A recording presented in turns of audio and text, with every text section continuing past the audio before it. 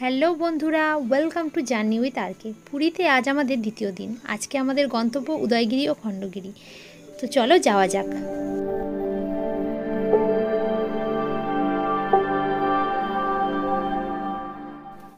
আমরা হোটেল থেকে স্কুটি নিয়ে সকাল সকাল বেরিয়ে পড়লাম উদয়গিরি ও খণ্ডগিরির উদ্দেশ্যে। তোমরাও যদি আমাদের মতো স্কুটি নিয়ে ঘুরতে চাও, তাহলে আমরা বাইক সার্ভিসের নাম্বারটা স্ক্রিনে দিয়ে দেবো। তোমরা যোগাযোগ করে নিতে পারো।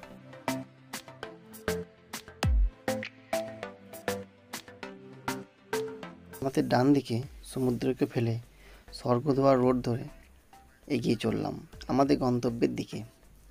আর আমাদের সঙ্গী ছিল গুগল ম্যাপ ও উড়িষ্যার পথ নির্দেশিকার বোর্ডগুলি আর একটা কথা, তোমরা কিন্তু অবশ্যই বাইক বা স্কুটি ভাড়া নিলে তাতে পর্যাপ্ত পরিমাণে পেট্রোল রিজার্ভ করে নিও।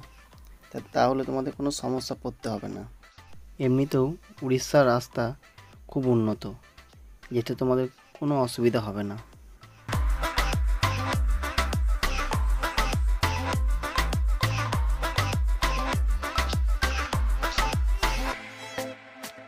পুরী ছেড়ে আমরা এগিয়ে চললাম আমাদের গন্তব্যের দিকে, অর্থাৎ পুরীর রাজধানী শহর ভুবনেশ্বরের দিকে। চলো তোমরাও আমাদের সঙ্গে। ফাইনালি আমরা পৌঁছে গেলাম আমাদের মূল গন্তব্য খণ্ডগিরি ও উদয়গিরির একদম কাছাকাছি। তো চলো, প্রথমে আমরা খণ্ডগিরিতে প্রবেশ করি। আর বন্ধুরা, তোমাদের জানিয়ে রাখি, খণ্ডগিরিতে প্রবেশ করতে কিন্তু কোনো রকম টিকিট মূল্য দরকার নেই। তোমরা এখানে ফ্রি অফ কস্ট প্রবেশ করতে পারো।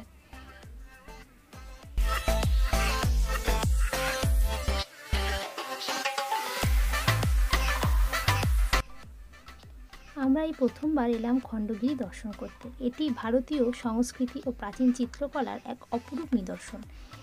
খণ্ডগিরি মূলত পার্বত্য গুহা। এখানে মোট পনেরোটি গুহা রয়েছে। তো আমাদের সঙ্গে তোমরাও দেখতে থাকো এর অপরূপ শিল্পকলা ও চিত্রকলা।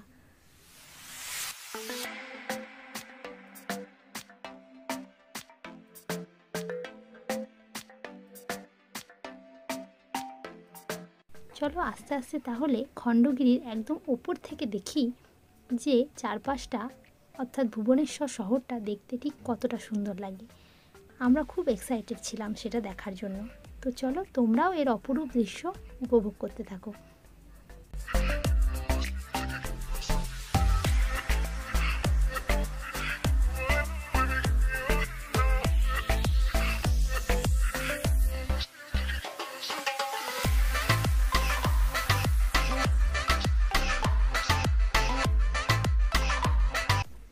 চলো আমরা ওপরের দিকে উঠতে থাকি। এখানে যেহেতু পাথর কেটে রাস্তা তৈরি করা হয়েছে, তাই খুব সাবধানতার সঙ্গে ওপরে উঠতে হবে। তো চলো ওপরে উঠি এবং দেখি যে ওপর থেকে নিচটা অর্থাৎ শহরটা কেমন লাগছে।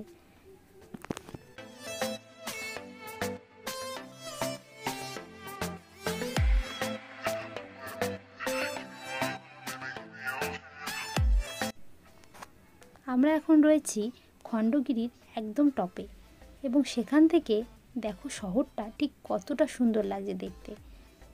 তোমরা দেখতে থাকো এবং উপভোগ করতে থাকো।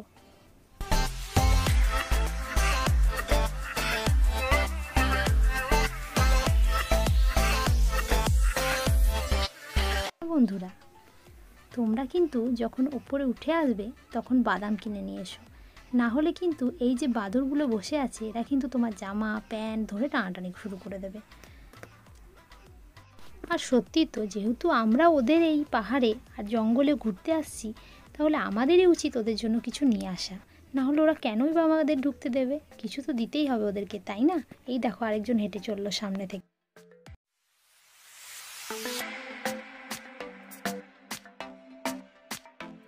এটা আমাদের মোটামুটি ঘোরা হয়ে গেছে। এবার আমরা যাব আমাদের পরবর্তী গন্তব্য উদয়গিরি।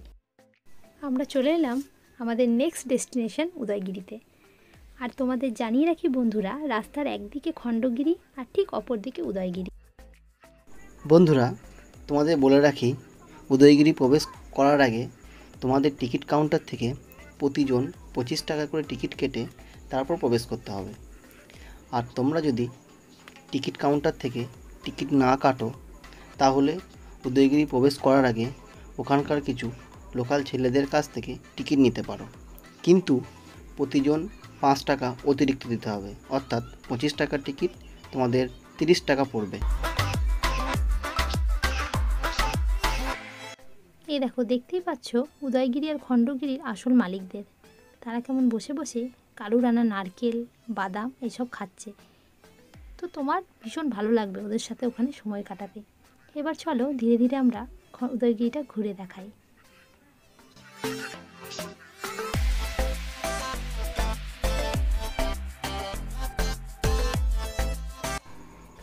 উদয়গিরি মূলত একটি বৌদ্ধ স্থাপত্য। এটিতে মোট আঠেরোটি গুহা আছে, কিছুটা প্রকৃতি ও কিছুটা মনুষ্যসৃষ্ট নিদর্শনের মেলবন্ধন রয়েছে এটিতে।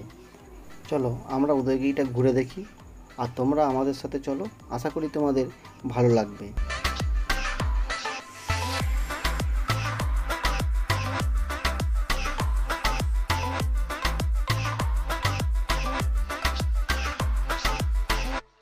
আমরা এখন আছি উদয়গিরির একদম ওপরে এবং ওপর থেকে চারপাশটা দেখতে খুব সুন্দর লাগছে।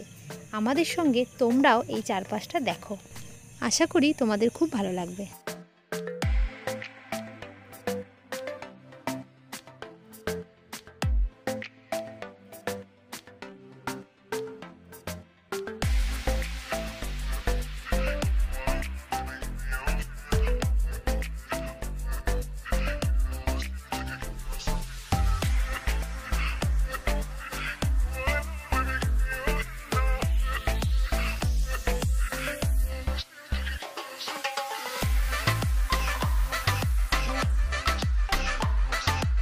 পুরো ভিডিওটা দেখার জন্য তোমাদের অসংখ্য ধন্যবাদ।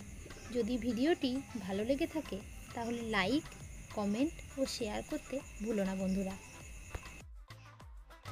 আর অবশ্যই চ্যানেলটি সাবস্ক্রাইব করে পাশে থাকা বেল আইকনটি প্রেস করে দিয়ে আমাদের সঙ্গে থেকো।